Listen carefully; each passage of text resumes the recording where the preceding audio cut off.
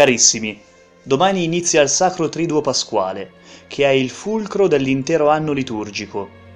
Aiutati dai sacri riti del Giovedì Santo, del Venerdì Santo e della solenne Veglia Pasquale, rivivremo il mistero della passione, della morte e della risurrezione del Signore. Questi giorni devono risvegliare in noi un più vivo desiderio di aderire a Cristo e di seguirlo generosamente, consapevoli del fatto che Egli ci ha amati sino a dare la sua vita per noi.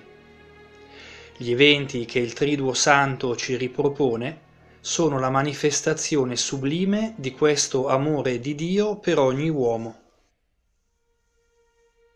Per entrare pienamente nel clima di questi giorni santi, sarà necessario coglierli nella loro unità, giorno dopo giorno.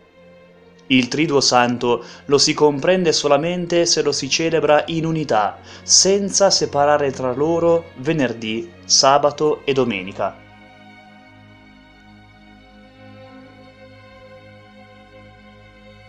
Il Triduo è come un'unica grande celebrazione che va dalla messa in cena domini del giovedì santo alla domenica di risurrezione. La Pasqua di Cristo è costituita dalla sua morte e risurrezione, cioè della novità di vita che scaturisce dalla morte redentrice del Signore Gesù.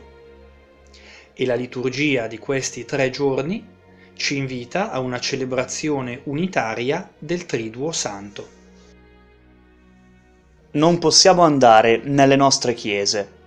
Non possiamo radunarci per celebrare sacramentalmente la Pasqua del Signore, centro di tutto l'anno liturgico, ma possiamo e dobbiamo vivere nella fede, nell'ascolto della parola, nella comunione spirituale.